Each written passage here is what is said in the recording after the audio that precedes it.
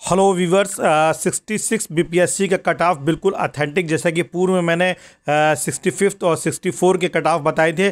ठीक sixty six के लिए भी मैं कट ऑफ़ का आपके सामने प्रोडिक्शन कर रहा हूँ, लेकिन चूँकि ये सब्जेक्टिव होता है, इसमें वस्तुनिष्ठता नहीं हो सकती है, इसलिए ये गलत भी हो सकता है। वास्तविक कट ऑफ़ तो लोक सेवा आयोग ही बताएगा, बिहार पब्लिक सर्विस कमीशन, लेकिन चूँकि पूर्व में मैंने प्रडिक्शन दिए हैं और वो अथेंटिक रहें, इसलिए चूँकि हमारे जो व्हाट्सएप ग्रुप पे लोग जुड़े हुए थे वो हमसे कह रहे थे कि आप एक कट ऑफ़ का एनालिसिस दें और मैं आपको बताने जा रहा हूँ जो वास्तविक कट ऑफ़ रहने वाला है। अगर हम sixty two sixty two sixty third sixty fourth और सिक्सटी फिफ्थ कट ऑफ़ की बात करें तो इसका जो ऑन एन एवरेज है सिक्सटी टू सिक्सटी टू में जो कट ऑफ़ रहा था वो नाइन्टी सेवन गया था अनरिजर्व कैटेगरी के लिए।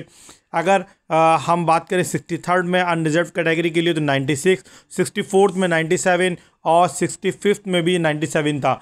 लेकिन इस बार ये कट ऑफ़ नाइन्टी फाइव रहने की संभावना है।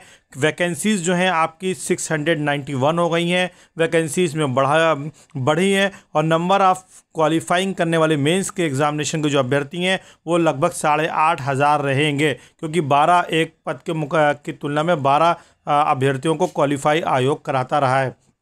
अगर हम फीमेल की अनरिजर्व की कैटेगरी की बात करें तो ये कट ऑफ़ आपकी ऑलमोस्ट नाइन्टी टू के आसपास रहना चाहिए, मेरा ऐसा अनुमान है। और इसी तरीके से एससी की अगर हम कट ऑफ़ की बात करें तो एससी का कट ऑफ़ भी अगर हम पूरे पैटर्न को देखें, हम पुराना आपको कट ऑफ़ नहीं बता रहे सिर्फ़ सिक्सटी फिफ्थ का कट ऑफ़ को बता करके आपको बताना चाह रहे हैं कि किस प्रकार से एक पैटर्न रहा है और आपकी ये कट ऑफ़ सिक्सटी फिफ्थ में एटी नाइन रहा है, लेकिन मेरे अकॉर्डिंग आपकी ये नाइन्टी रहेगा। अगर एस टी की कट ऑफ़ की बात करें तो सिक्सटी फिफ्थ में ये एटी नाइन रहा है, मेरे अकॉर्डिंग ये भी नाइन्टी जाएगा। और अगर हम ई बी सी क्लास की बात करें अदर बैकवर्ड्स क्लास जो इकोनॉमिकली बैकवर्ड क्लास हैं उसके लिए अगर हम बात करें तो ये कट ऑफ़ जो है लगभग 92 टू 93 के बीच में रहना चाहिए। और बैकवर्ड क्लास की अगर हम बात करें तो बैकवर्ड का कट ऑफ़ भी 95 के अराउंड ही रहेगा।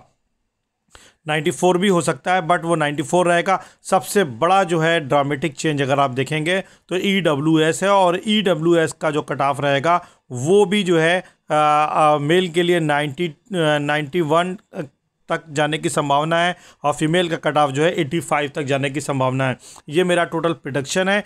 ये सही भी हो सकता है और गलत भी हो सकता है, लेकिन ये चूँकि मेरा प्रोडक्शन है और पूर्व में अगर आप मेरे वीडियोज़ को देखें तो प्रोडक्शन सही गए हैं। इसलिए मेरा अनुमान है कि ये कट ऑफ़ इतना ही जाना चाहिए। Thank you so much